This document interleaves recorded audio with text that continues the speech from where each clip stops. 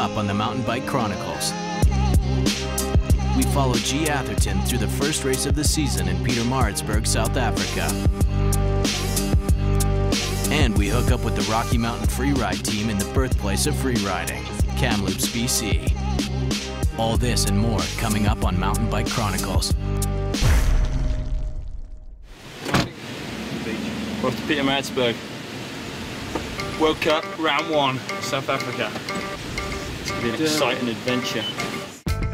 It's the first time in two years the UCI World Cup has returned to South Africa, and Gee hopes to defend his 2010 World Cup overall championship.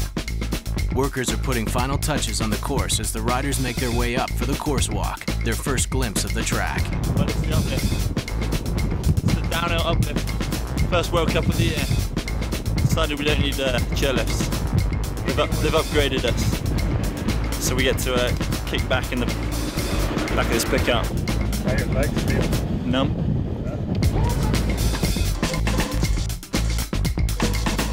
Yeah, I feel my legs. Got to really make the most of this track walk because I'm not coming up again. As Gee walks the new course, he realizes it has less elevation and more pedaling than he's used to for a World Cup track. I like walked over this brow at the end of like a 25 minute flat straight thinking it was like dropping into the finish arena. And it goes like down into a valley, up the other side, and then back into the woods. Definitely one of the more demanding tracks and, and definitely one of the more physical tracks in the season. Making his way back to the tents, Gee's mechanics are ready to put the final touches on his bike for the first practice runs. After the course walkthrough and bike tune-ups, the riders get a day of practice runs before qualifying. Steve Peat of Great Britain was the 2009 world champion, but finished a disappointing seventh in 2010. This year, he's looking for redemption. Aaron Gwin, a newcomer to the downhill scene, is ranked third in the world in only his third season. Having spent his early teens as a motocross racer, he's no stranger to high speed on two wheels. 2010 runner-up and local favorite Greg Minnaar is a veteran of the downhill scene, racing internationally since age 17. Greg won the race here in 2009 and wants nothing more than to repeat as champion in his home country. Gee is working hard to memorize the course as he needs to start the season strong to repeat his world championship title from last year. As the day of practice comes to an end, the riders come back to their team's tents to tune their bikes. In a world that's decided by milliseconds, every turn of a wrench can be the difference between the podium and the poorhouse. As the World Cup season begins in Africa, another season is beginning on the other side of the planet. You know, here we are in Kamloops, uh, kind of doing some spring riding with the team. The Rocky Mountain Freeride team, featuring Thomas Vanderham, Wade Simmons, and Geoff Gulevich, are starting their season off with a team ride in Kamloops, BC, Canada. Haven't ridden that stuff before. Woo! Got a fresh bike here. Making the final adjustments, making it my own. And uh, I'm gonna take it for a spin. I can honestly say, guys, I love Kamloops. Like, I really, like, it's, it's awesome here. Kamloops has been one of the best spots in the world for mountain biking for over a decade and is widely considered the birthplace of free riding. I'm gonna break these puppies in. The area's dry, shapeable dirt and rolly hills make it a mountain biking playground. Even though the team is made of all good friends, their busy schedules seldom allow them to ride together. Pretty awesome opportunity for us all to ride together because we're all so busy doing our own things, we never really get the chance. Uh, everyone's got busy schedules, so um, when we can all ride together, it's really fun. Riding behind Thomas, you notice he really has his own style. Rocky Mountain's free ride team has a well-rounded roster of riders. It's, it's awesome because everyone has a different style. You know, Thomas, uh, he's kind of more racy, high speed, and goes big. Thomas Vanderham, although still at a young age, has already secured himself as a mountain bike legend. He is known for his phenomenal style and willingness to go big. Kamloops is a great environment for him because there's a lot of booters, a lot of, a lot of senders. And then Gully is a little more slope styley uh, dirt jump. And uh, of course there's a lot of, lot of stuff in Kamloops for him to hit too. And then I'm kind of the veteran old man. Wade Simmons is known as the godfather of free riding and has been a professional rider longer than he can remember. Well, I did grow up watching him ride.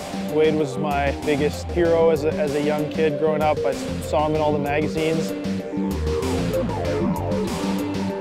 I think our riding really complements each other just because it's so diverse and uh, but we all like riding the same sort of things. Kamloops has more amazing riding than the crew knows what to do with. What I love about coming back to Kamloops to ride is the, it's the variety. When you come to Kamloops, it's dry, fast, high speed, slidey, dusty, it's great. It is really fun to, to uh, get the new bikes and, and ride as a group. After an epic week of single track and big air winds down in Kamloops, things are just getting started in South Africa.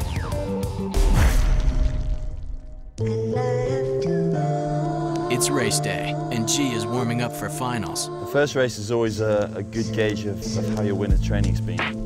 In downhill mountain biking, a huge portion of the training you do is, is fitness-based, you know, gym work, road work, cross-country stuff.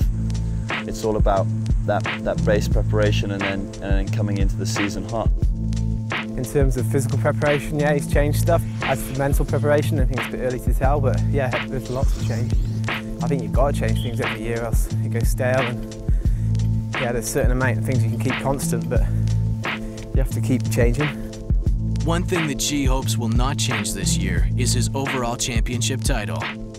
The first round, especially with the, the track being what it was this year, it's going to tell you if you've, if you've done the right thing or not.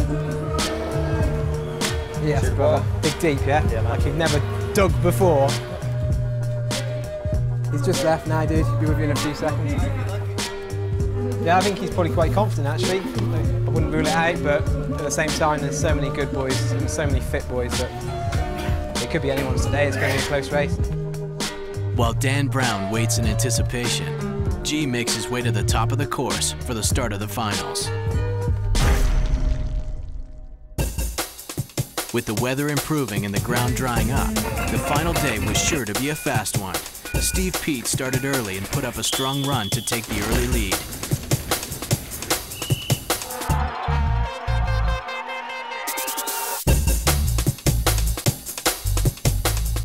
It felt fast, but I didn't have much power on the on the flat section, so I think the big boys might have a little bit more in the legs today. Patriot Aaron Gwin was up next, carefully picking his lines and then flying his country's colors down the hill recklessly.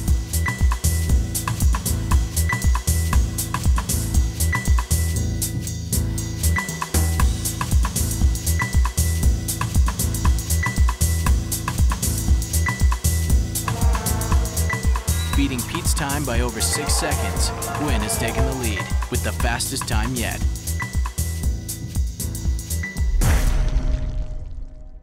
As Gee makes his way to the top, he has a chance to reflect on his successful 2010 season.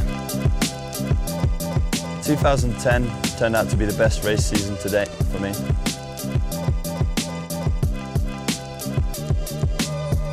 Twenty ten saw a great battle between Gee and Greg, with only a few points deciding Gia's champion in the final race. Whole way through, fighting for the title, and you know it came down to the last round, and when coming out on top, coming out victorious was a was a huge thing for me.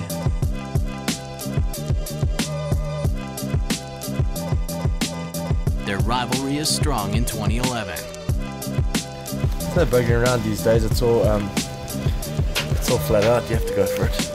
You know, look how tight the points were last year. Look how tight they were the year before, and the year before that. So you can't afford to bug around. You have to go for it every round. Minnaar and Atherton's final runs are up next, but will they have enough to beat Gwin's time? The day and contest are coming to a close, but not before the most anticipated rivalry of the weekend. Gee Atherton and Greg Minnaar both qualified near the top and are hot favorites in taking the top spot today. First up is Gee, hoping his off-season training has paid off to help him through the grueling flat sections of the course.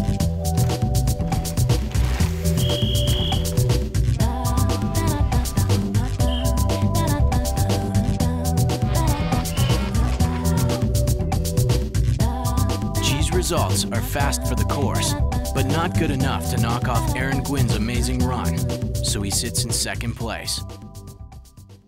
Gee gave it everything he had, but can only sit and watch what Greg does in his final run.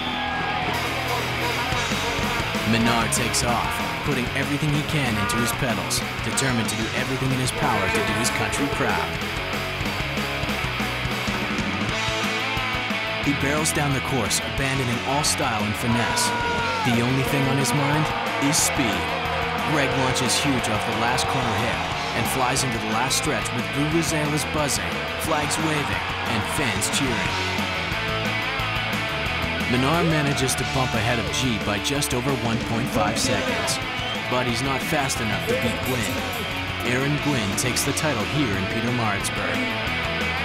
After the first event of the UCI World Cup Downhill Series, the standings show American Aaron Gwin in the lead, followed closely by Greg Minnaar and Gee Atherton. The leaderboard is sure to heat up in the upcoming races. In the next episode of Mountain Bike Chronicles, we head to Grand Junction, Colorado to follow Paul Basagoitia at the ranch style dirt jump competition.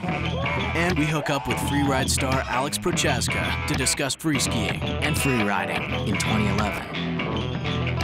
All this and more coming up on Mountain Bike Chronicles.